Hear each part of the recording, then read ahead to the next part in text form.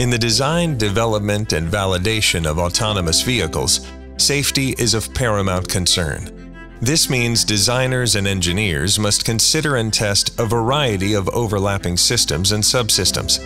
Each is mission critical to the automobile's safe operation. ANSYS has developed a comprehensive solution to address the system safety analysis, safe software development, and systems validation with high-fidelity, physics-based simulation of the virtual world, traffic scenario descriptions, and sensor simulation. The following demonstration showcases the ANSYS self-driving safety solution. In this video, we show the development and validation of an autonomous driving system that is designed to keep the vehicle at a safe distance from any detected obstacles, such as other vehicles and pedestrians.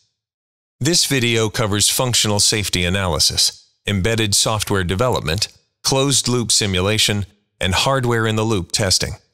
The process starts with functional safety analysis. This functionality is implemented with two path planning components and a selector, which passes through the first valid plan either fully autonomously based on perception or adaptive cruise control to make sure a safe distance is maintained. We use this selector because the AI planner is not guaranteed to provide a safe plan. Functional safety analysis must be performed to ensure that the system meets the defined safety goals. ANSYS Medini Analyze systematically identifies the risks and hazards that could be caused by malfunctions of our system components. By applying safety analysis techniques such as fault trees in ANSYS Medini, we can derive functional safety requirements for the system.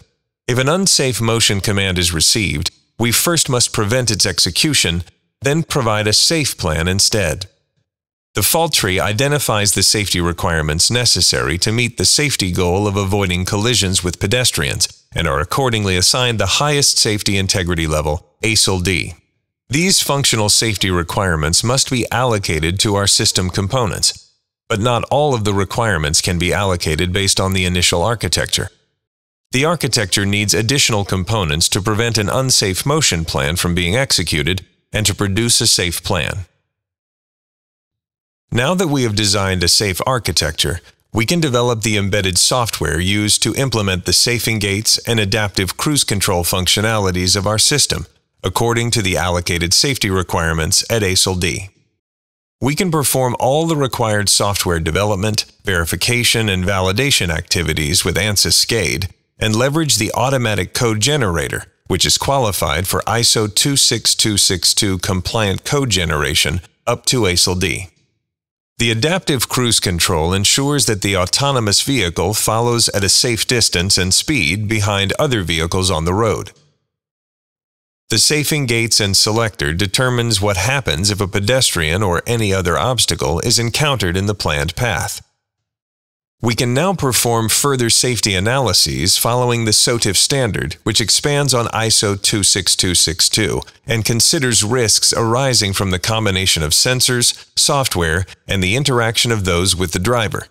For example, SOTIF analyses considers whether the system will work in varying weather conditions. This requires simulation.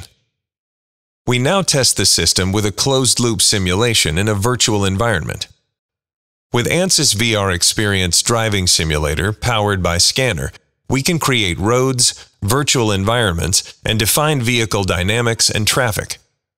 The next step is to simulate driving scenarios with an ego vehicle equipped with virtual sensors and vehicle dynamics.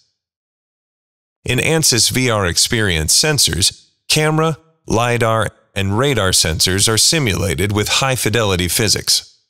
The scenario begins with the AI-based planner in control of the vehicle. We simulate a case where the AI-based planner mistakenly provides a plan that would cause a collision. The selector catches the error and switches over to the adaptive cruise control planner which maintains a safe following distance. The car in front of us happens to turn right, and a pedestrian unexpectedly crosses the road in our path of travel. In this view, we are looking through the ego driver's view. Simulation makes it easy to rapidly test thousands of different conditions. For instance, varying the time of day, location, and road conditions. Here's the actual dashboard of our autonomous vehicle. We can see what the driver's view will be while traveling in the vehicle. This visual dashboard is created with ANSYS SCADE display, powered by the control code that we discussed earlier, created an ANSYS SCADE Suite. We can see that the autonomous vehicle starts in cruise control mode and is following the vehicle ahead of it at a set target speed and following distance. On the bottom of the screen, we can see 2D visualizations in terms of a point cloud and a top-down view of the same 3D LiDAR perception and ground truth data used by SCADE Suite. Although the AI is telling us to drive straight ahead, the safety gate detects that there is an object in the planned path and invalidates the plan. The selector chooses the next valid plan, which is the safing plan, causing the vehicle to brake at 100% to avoid a collision. We can see the pedestrian walking in front of the car on the depth and perception displays. The pedestrian clears the path of the vehicle, and the ego vehicle returns to the AI planner mode. Now let's add some variability. The top screen is the same scenario that we have seen earlier. On the middle screen, we have altered the road conditions so that the grip traction is less effective, like with an icy road or worn tires. With these new conditions, we discover that the algorithm does not work effectively, and needs to be adjusted.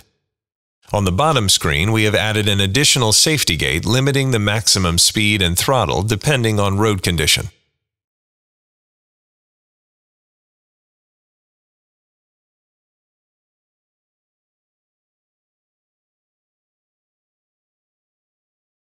At this point, the closed-loop simulation is complete. The next step is hardware-in-the-loop simulation. Now we need to validate how this system will behave on target.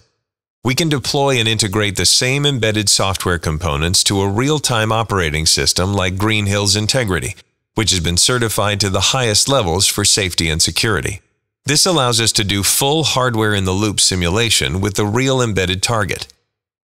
This approach has shown how to successfully ensure systems and software safety of autonomous vehicles through functional safety analysis embedded software development, closed-loop system simulation, and finally hardware-in-the-loop simulation.